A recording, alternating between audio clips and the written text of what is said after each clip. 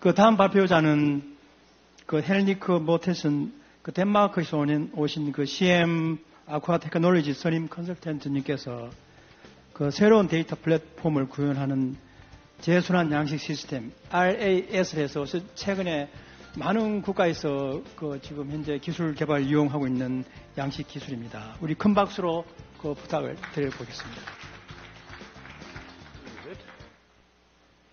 Yes, I'm from CM Aqua Technologies and RAT Polymer Technique, two companies which merged two years ago. CM Aqua Technologies is the sales division, and RAT Polymer Technique is our production facility in Germany. I consider smart aquaculture as improvements of already existing equipment and procedures. It's actually quite rare that we see something completely new. And then I will, and that's actually why I will talk a little bit about our very innovative company, of course. But then I will also talk a little bit about Danish aquaculture and how Danish aquaculture has developed into more and more intensive farming. And this intensive farm can comprehend and understand and use the new uh, IT systems.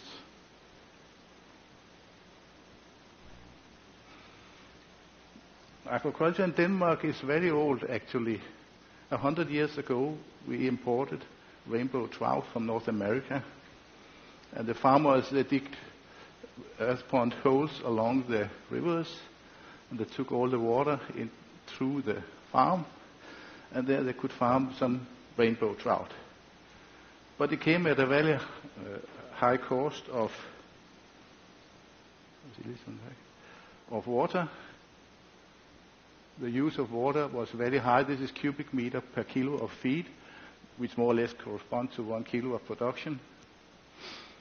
They didn't do anything to improve the water quality, just feeding.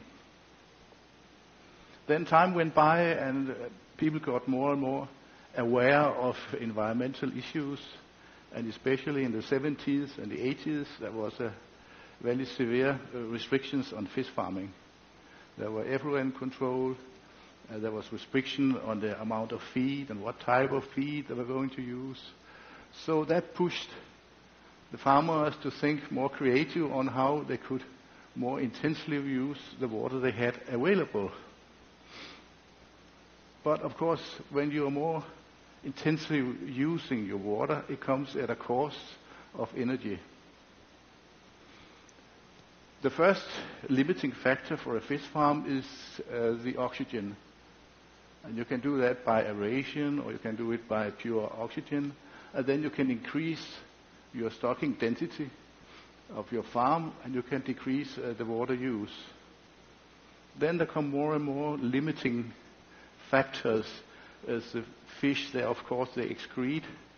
There's feces, there's ammonia, there's CO2 coming out, and then you have to handle it with different uh, water treatment systems.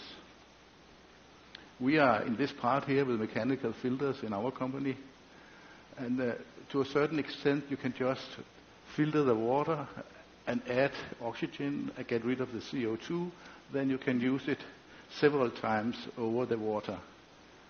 But there are the next uh, step that's with the biological filter because they excrete a lot of ammonia which has to be converted to nitrate in biological filters. So then you can go really hard onto the water we use here. And 0.4 cubic meter for one kilo of feed is approximately the normal step for recirculating system. You can go all the way down to just 50 liters, but then you really have to do a, a very intensive control of your chemistry in the, in the system. Uh, just to show that a very delicious fruit as avocado takes two cubic meters to produce one kilo. So fish is actually using much less water than a delicious fruit like that. This is a, a very old farm, digged out uh, 70 years ago. But that was typical, an earth pond. And this is a historical uh, back view for how smart aquaculture can develop. Because he saw that he needed to add oxygen, then he could have more fish in his pond. He has a fish pump, then he don't have to use the handcraft anymore. So it's a slow process where you improve steadily your production methods. Some even added the whole package at the end of the farm. This is um, a biological filter. The ponds are over there. All the water goes through a biological filter, then it goes out here, which is a degassing, so you get rid of the carbon dioxide, and you introduce oxygen and back again. This is actually a quite old photo, this one. I was really digging deep in my old photos. this is um, another way to do it, because the earth ponds is not really self-cleaning. You get a lot of dirt in there, which is not good for the fish production. So some have changed to concrete raceway systems like this, where they drive the water around by an airlift. The airlift both push the water around and it gives oxygen and it strips the CO2.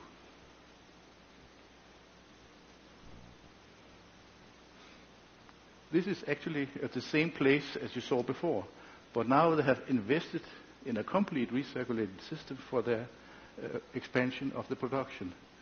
And thereby there are no restrictions in environmental regulations and all that, because now it's completely closed and they can control the effluents from the farm.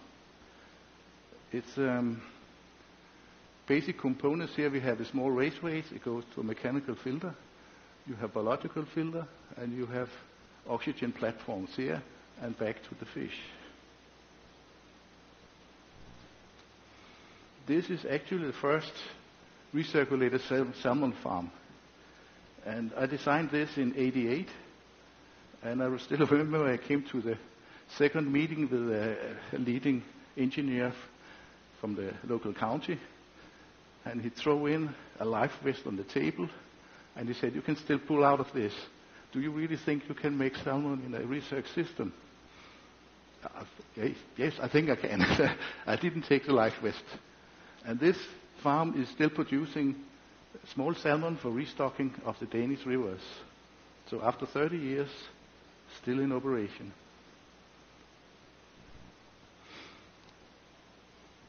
However, this technology has now moved into a more industrialized phase. Uh, this is a, a Nofitech module from Norway, where they really have kicked off here in recent years for their smolt systems. And this is an example of a very compact system. The footprint is low. We have big tanks, mechanical filter, biological filter, and degassing below deck. So the environment in the building is very nice. In only 1,500 square meters, you can actually feed three and a half tons of dry, dry feed a day with a very low water consumption. Here in uh, Korea, we work together with NFS on complete system design. And we have many other what we call OEM customers around the world who use our filters as part of their design. Here you can see this is our modest contribution to recirculation. Water comes from the fish first into the mechanical filter, We take out the particles from the water. There, there's still a lot of ammonia from the fish that is dissolved. We cannot do that with a mechanical filter. We need biological filter to absorb and convert the ammonia into the more harmless nitrate there are also some dissolved organics which is eaten by the heterotrophic bacteria in this, which is called a moving bed bioreactor, where you introduce air to make the whole process run as it is an oxic process. When that has been achieved, you have reduced the organics to carbon dioxide and the ammonia on, into uh, nitrate. You have a lot of CO2 both coming from the fish but also from this process. so therefore you have what we call a degasser afterwards to get the CO2 out. Then the water is, uh, in theory, clean enough to get back to the fish. But there's a lack of oxygen. And if you really want a high stocking over here, salmon can go up to 70, 75 kilos per cubic meter, depending on the sizes. Then they take a lot of oxygen. And you cannot do that by aeration only. You need to introduce pure oxygen. There are other equipment that you add on because you also want to control microbiology in the system. And this process eats actually your alkalinity, so you have to add some lime. But um, it's not that easy to run this system actually. It takes a lot of training. So, uh, but we are, I think we are coming there now on industrial scale, especially because the Norwegian has invested such huge amounts in these systems. This is just a modest one of 3.5 tons a day. They are now up to 20 tons a day in one system. That's amazing, actually.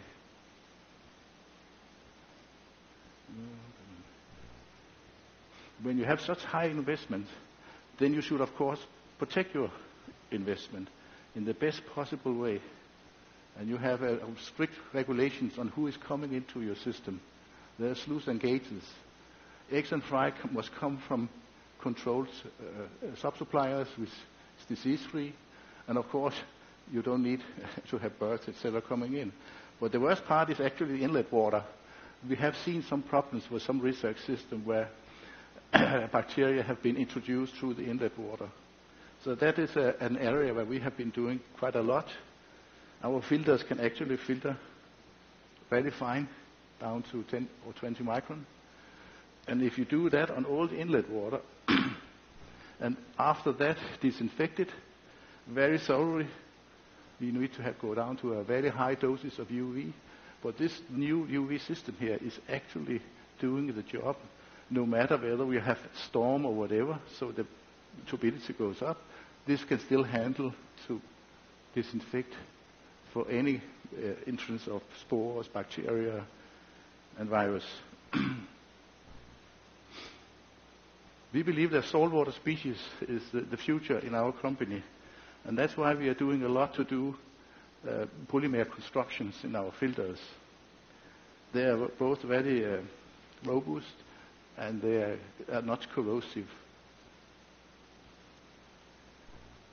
Here is a, a lumpfish in Norway. Our filters is made of PE top so they cannot corrode. Lumpfish is a special fish that put out to the sea cages. It eats the sea lice so it's a kind of biological control we have up there. And you can really see here that it's a challenge when we are in warm salt water, like here in Panama, inlet to a fish farm. The real problem is the corrosion. And in um, most civilized societies today, a large part of our gross national product is actually going to repair damages by uh, corrosion processes. It's, um, in agriculture, we have not really been taking attention to this, and we see many disasters in constructions. It's a physical chemical process involving a metal, and you have an anode and a cathode process going on where there's exchange of electrons, and that changes the characteristics of the metal. So we get metal oxides, hydroxides. And that's actually the rust. Now, a lot of people here, they are from the marine industry, and they know they can put a zinc anode to protect the propellers on the ships. But don't do that in fish farms. How much? No, that's not true. Just five minutes left. Okay.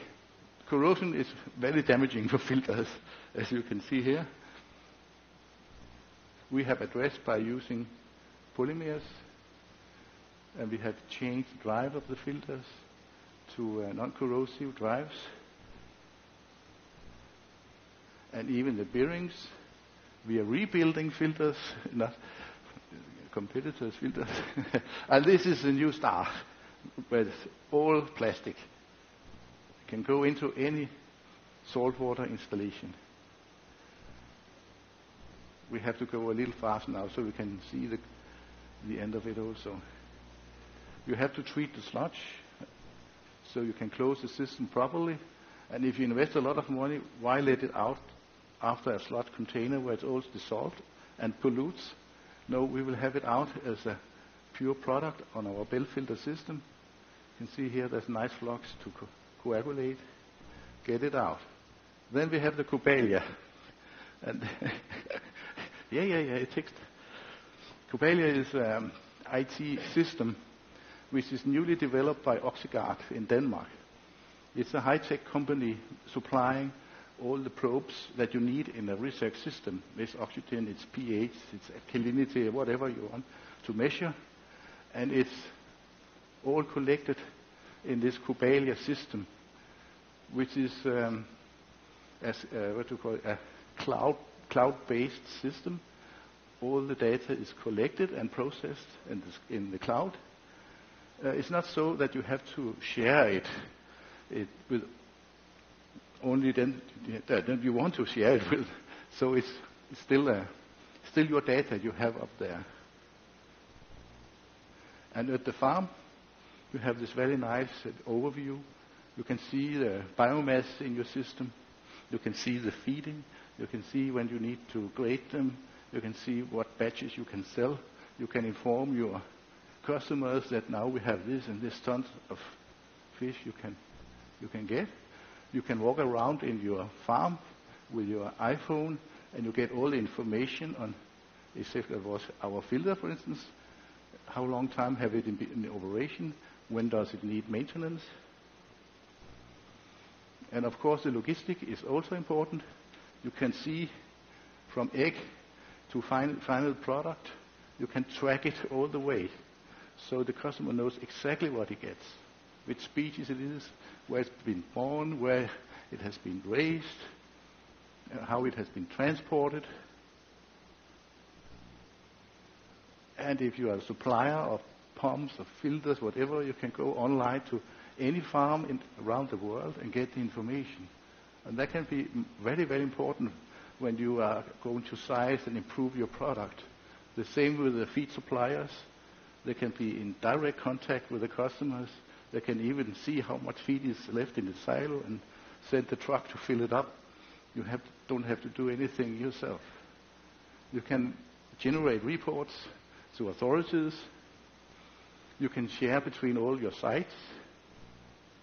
And here we have, of course, a satisfied customer who knows exactly what he's eating, and even the recipes is given. Cubalia is uh, going to be launched in January, and I know OxyGuard is on a rental basis. You can you can have it for 2,000 euro, I think, a year, and there's no limits on the users. So it's kind of a rental system. I think that was it then. I think uh, I don't think we will make fish on the moon or Mars the next years, but I think there's an ocean of opportunities out there. Thank you.